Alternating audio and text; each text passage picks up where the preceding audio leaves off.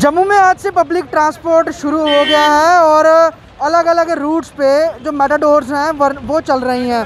आज सुबह से ही ये सर्विस शुरू हो गई है और जैसे कि सरकार ने हिदायत दी थी कि 50 परसेंट कैपेसिटी के साथ जो मेटाडोर्स हैं, वो चलेंगी पब्लिक ट्रांसपोर्ट चलेगा। तो उसके तहत अब जो गाड़ियाँ चल रही हैं तो वो लोग तमाम जो कि पब्लिक ट्रांसपोर्ट पर ही निर्भर करते थे, उन लोगों के लिए राहत आज से शुरू हो गई है। पिछले डेढ़ महीने से जहाँ पर पब्लिक ट्रांसपोर्ट पूरी तरह से बंद था, अब शुरुआत होने से कहीं ना कहीं आम लोग जो हैं, जो कि बाहरी इलाकों से शहरों में आते थे, या फिर वो लोग जिनके पास अपने कन्वीनियंस नहीं थे तो वो ज़्यादातर किसी के साथ मैनेज करके बाहर निकलते थे या फिर ऑटो के थ्रू वो निकलते थे।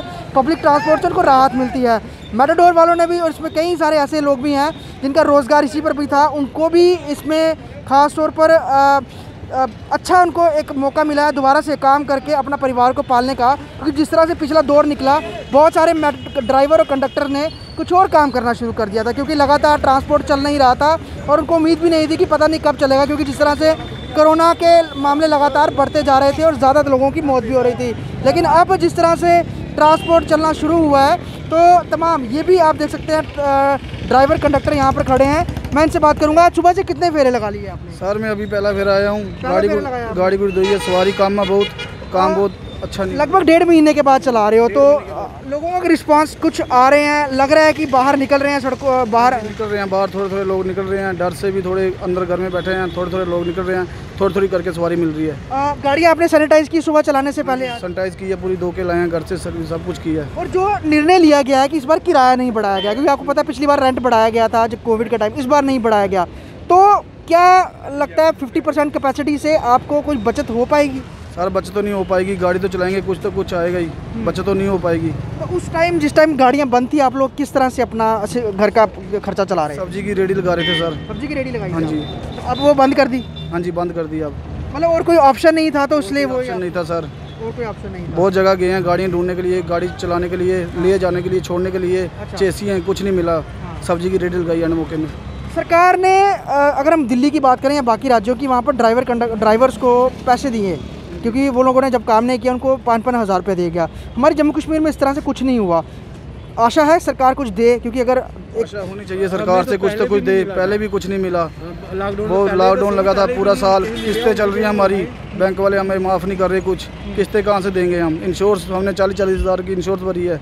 गाड़ियाँ खड़ी है किस्तें डबल हो गई है। चौदह महीने पहले चल गया सब कुछ। हम बहुत दुखी हैं इस टाइम जिस चौदह महीने लॉकडाउन रहा तब गवर्नमेंट ने कुछ नहीं दिया। अब तीन महीने हो गया जे अब कुछ नहीं दिया। तो बोला था इनको किराया बढ़ाने के लिए वो भी नहीं बढ़ाया। लेकिन फिर इन्होंने बोला आधी सवारी कर दो।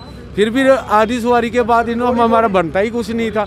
इसीलिए हमने हमने हड़ताल की थी। इसलिए हड़ताल की है। साफ़ तौर पे लोगों का ट्रांसपोर्टर्स की यही आशा थी यही उम्मीद थी कि आ, कोई पैकेज अनाउंसमेंट होगी क्योंकि बड़ी देर तक गाड़ियाँ बंद रही हैं और अभी भी अगर आप देखेंगे इस तरह से मेटाडोर्स खड़ी हैं और हालाँकि ये आधी क्षमता पे चल रही हैं।